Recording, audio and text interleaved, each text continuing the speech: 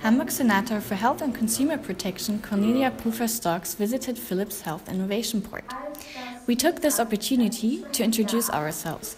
Our head and neck surgeon, Dr. Hans von Lücken, explained our VSI project to the senator, and our CTO and CEO, Sirko Pelzl, has used the chance to put the HoloLens on her head. Senator Prüfer-Storcks had the chance to see 3D MRT holograms. These could be moved through a cube which makes it possible to delve into the different layers of the MRT. Very curious and interested, she has joked, Wie sehen Sie den, den Kopf? Äh, Schmidt, passen wir auf, sonst operiert. The Health Innovation Port, short HIP, is the first co-working hub located in Hamburg. This hub is dedicated for new companies focused on e-health, health and medical technology. It was established by Philips and the Technician Health Maintenance Organization, the Techniker Krankenkasse.